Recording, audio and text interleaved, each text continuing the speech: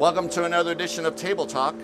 I'm Will Haggis in the church tower of St. Mark's in downtown Van Wert. Each of these bells has a different pitch, a different sound, a different note.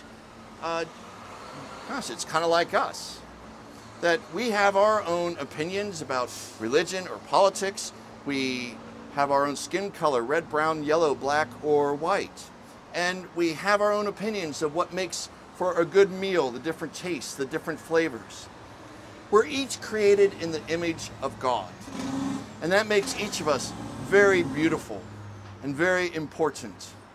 And consequently, then, we are created in God's image to glorify God and to edify others.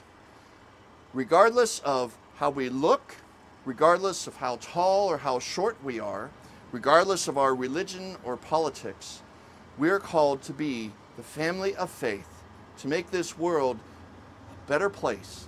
And the way we do that is to realize that we can honor and glorify and worship our God regardless of our differences in opinion and politics, flavor and desire.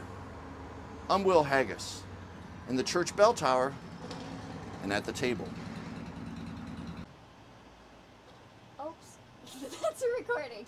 Oh no.